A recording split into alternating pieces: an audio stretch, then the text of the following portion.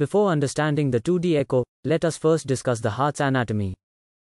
A typical heart has four chambers which are easily seen by 2D echo, two on the right side and two on the left side.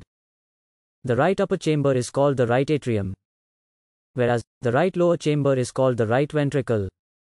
Similarly, the left upper chamber is called the left atrium, and the left lower chamber is called the left ventricle. Numerous main blood vessels are located around the heart, which is also evaluated during a 2D echo.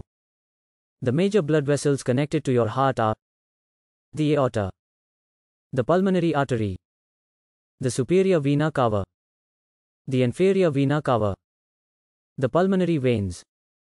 The heart has four valves. They open and close to let blood flow from one area of your heart to another. The four valves of the heart are aortic valve, mitral valve, pulmonary valve, tricuspid valve. An echocardiogram is an ultrasound test that checks the structure and function of your heart. An echocardiogram is done with an ultrasound machine with a dedicated cardiac probe. This is how an ultrasound machine looks like. This is the probe used for the 2D echo test. Either a technician or a cardiologist performs a 2D echo test for you. During an echo test, your doctor places a handheld wand called a transducer on your chest to take pictures of your heart's valves and chambers. The transducer sends sound waves to your heart. These sound waves bounce off the different parts of your heart.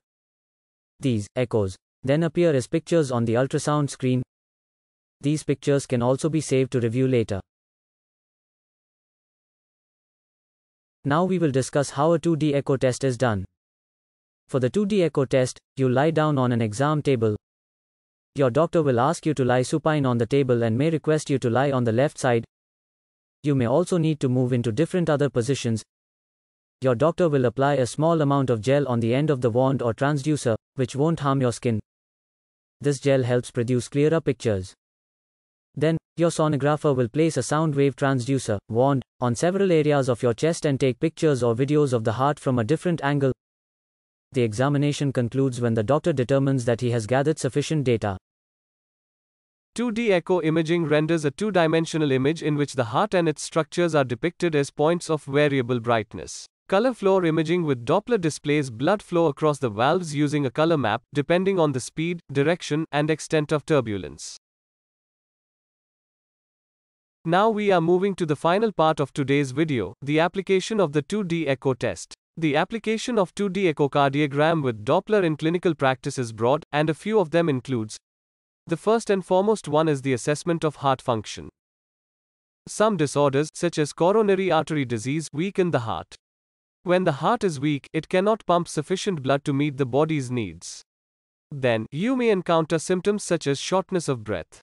A 2D echo can assist in identifying a weak heart. The second important application is the assessment of heart size. Heart damage and certain types of heart disease can cause an enlarged heart. Sometimes short term stress on the body, such as pregnancy, can cause the heart to get larger. Depending on the condition, an enlarged heart may be temporary or permanent. The 2D echo test evaluates heart size and can detect an enlarged heart. The third application is the study of the dimensions of the heart's four chambers. Next comes the assessment of the sizes of various vessels in the vicinity of the heart like the aorta, pulmonary artery, superior vena cava, inferior vena cava, and pulmonary veins. Another important application is the evaluation of the function of four valves of the heart. Stenosis is the term for a narrowed valve that doesn't open properly. The flaps of a valve may thicken, stiffen or fuse together. As a result, the valve cannot be fully open. The heart then has to work harder to pump blood through the valve, and the body may suffer from a reduced supply of oxygen. Stenosis can affect one or more valves of the heart. 2D echo test can measure the degree of stenosis and the consequences of the stenosis. Regurgitation is the name for leaking heart valves. Regurgitation occurs when blood leaks through the leaflets that don't close correctly. A leaking valve allows blood to flow in two directions. 2D echo test is the best test to identify the regurgitation and quantify its severity. Assessment of pericardium for its thickness and presence of any fluid, blood, infection, or mass is also an application of the 2D echo test. Pericardial effusion is excess fluid between the heart and the sac surrounding the heart. The 2D echo test readily identifies pericardial effusion. A review of the heart's walls for their thickness and contractility is another utility of the 2D echo test. The walls of the heart may thicken in conditions like high blood pressure. This puts the heart at a higher risk of heart disease. 2D echo is the definitive test to screen for such situations. Diagnosis of congenital heart diseases like the hole in the heart is another area where 2D echo plays a crucial role. There are several other applications of the 2D echo test like diagnosing heart stiffness, infections of the heart, pulmonary artery hypertension, and pulmonary embolus. Unfortunately, 2D echo cannot see most portions of the coronary artery and its blockages.